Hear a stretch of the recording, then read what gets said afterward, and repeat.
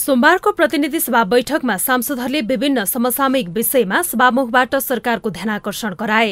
अघिल्ला बैठकमा चाहिँ नेपाली कांग्रेसले गृहमन्त्री रवि लामिछानेमाथि प्रश्न उठायो। सांसद प्रतिमा गौतमले सरकारले सहकारी पीड़ितहरूलाई न्याय दिनुभन्दा पनि सहकारी ठगहरूको पक्षमा वकालत गरेको आरोप लगाइन्।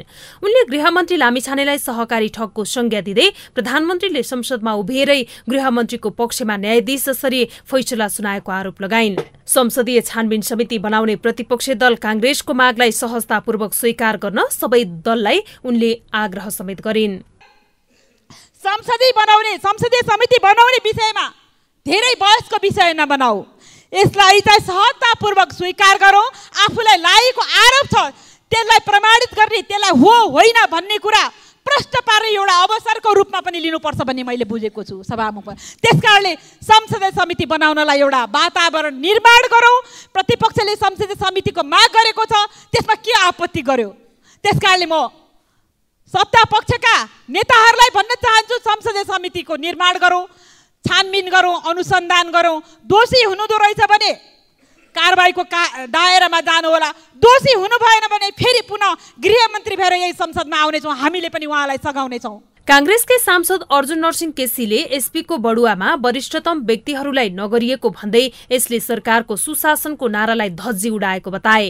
उनले एनसेल र सुनकाण्डको प्रतिवेदन संसदमा पेश गर्न पनि माग गरे।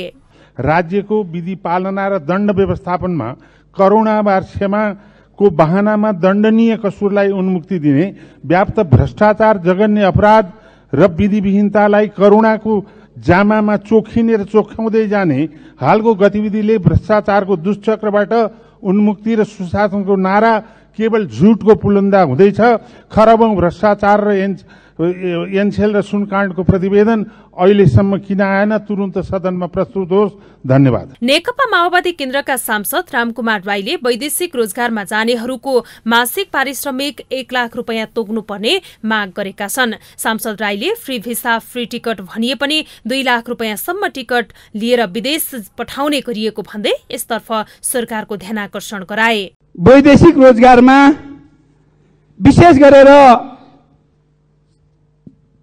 फी भिसामा जानेहरूलाई डेढ करोडदेखि दुई के अरे डेढ लाखदेखि दुई लाखसम्म लिएर पठाइरहेको छ तर कतिले काम पाइरहेको छैन भनेको काम कतिले भनेको कम्पनी पाइरहेको छैन र सबै चाहिँ जो बेरोजगार भएर जेलमा जस्तो बस्नु परिरहेको छ यसको लागि सरकारले विशेष गरेर चाहिँ अब यसको पहल कदमी लियोस् भन्ने कुरा म राख्न चाहन्छु। यसै गरी सांसद अनिसा नेपालीले सरकारको प्रतिबद्धता अनुसार तुइन विस्थापित हुन नसकेको भन्दै सम्बन्धित ठाउँमा पुलको व्यवस्था गर्न माग गरिन्। नेपालीले दुई हजार बहत्तर सालमा तुइन विस्थापित गर्ने निर्णय भए पनि हालसम्म तुइन विस्थापित हुन नसकेको बताउँदै तुइन विस्थापित गरेर पुलको व्यवस्था गर्नुपर्ने बताइन्। दुई हजार बहत्तर सालमा दुई वर्षभित्र सबै ठाउँका तुइन विस्थापित गर्ने भनेर सरकारले उद्घोष गरेको आठ नौ वर्ष पुग्दा पनि ग्रामीण भेगका तुइनहरू विस्थापित हुन सकेका छैनन्।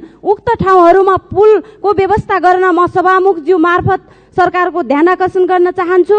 यही सत्र गते आएको हावाहुरी असिना पानीले सल्यान लगायत धेरै जिल्लाहरूमा किसानले लगाएको तरकारी बालीनाली व्यापक रूपमा क्षति गरेको हुँदा सरकारले पीडित किसानलाई क्षतिपूर्ति क्षतिपूर्ति सहित राहत दिन माग गर्दछु। राष्ट्रिय स्वतन्त्र पार्टीका सांसद हरि ढकालले आगामी आर्थिक वर्षको बजेट कनिका छरे जसरी नछड्न मन्त्रीहरूलाई आग्रह गरेका छन्। पहुँचको आधारमा आफ्नो क्षेत्रमा बजेट लान दिन नहुने उनको भनाइ थियो। म हाम्रो पार्टीबाट प्रतिनिधित्व गर्ने मन्त्रीज्यू यही यही गरिमा म सदनमा हुनुहुन्छ।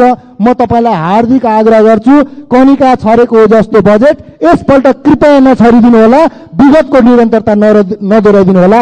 म हाम्रै पार्टीका प्रतिनिधित्व गर्ने मन्त्रीज्यूलाई खबरदारी गर्न चाहन्छु। सोमबारको प्रतिनिधि सभा बैठकमा विशेष समय र शून्य समयमा सांसदहरूले समसामयिक विषयमा सभामुखको ध्यानकर्षण गराएका थिए।